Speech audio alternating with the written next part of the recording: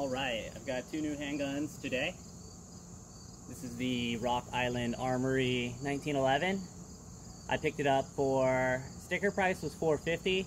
They gave it to me for 400. This is chambered in 45 ACP, aka 50 cents a shot. So I'm not gonna be shooting this much. I just thought it was super beautiful and I could not really pass it up. Maybe one day in the future ammo will drop or, you know, I'll just be making a ton of money and I won't care. But for now, this is not gonna be used a lot.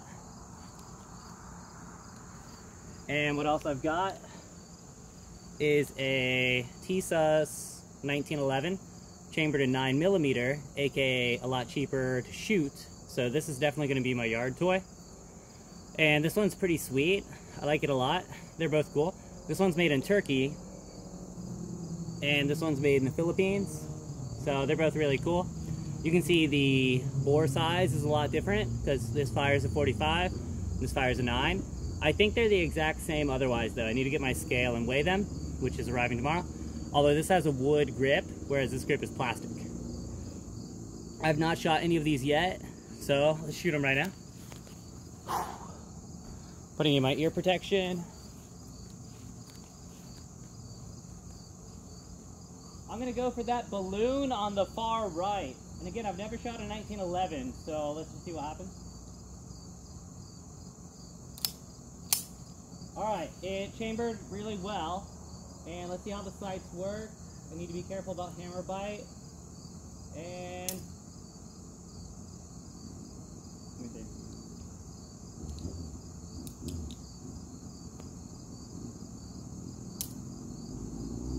This is embarrassing. Let's see what's going on.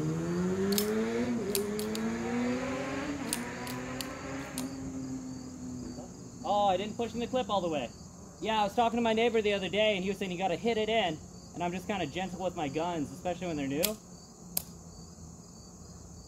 All right, this is definitely in now, and it's chambered. All right, three, two, one. This shoots really well.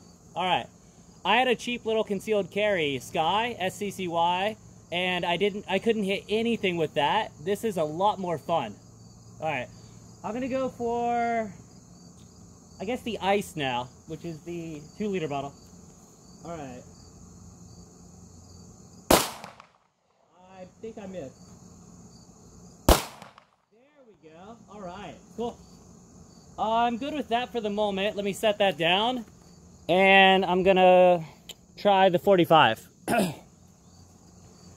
so the 45, again, these things are so expensive. I only put like five rounds in because I don't want to go crazy with it. All right. Let's chamber it.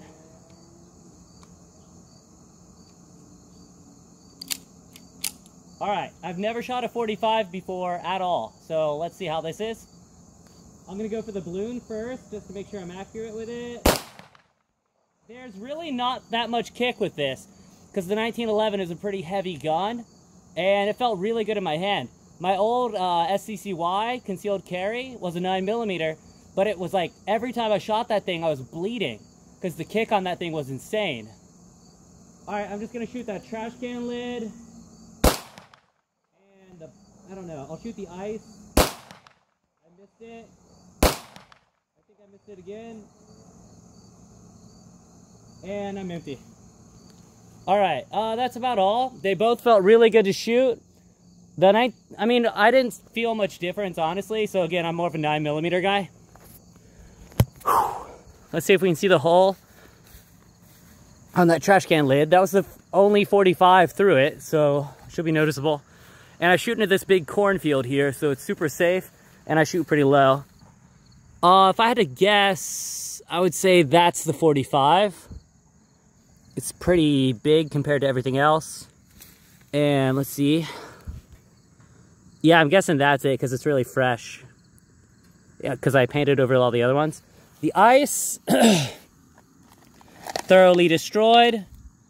And yeah, this is kind of my backyard range. I've got some stuff over there. I need to make it a lot prettier. And I've got this cool clothesline, which is super useful for like balloons and hanging other things. All right, that's it for now.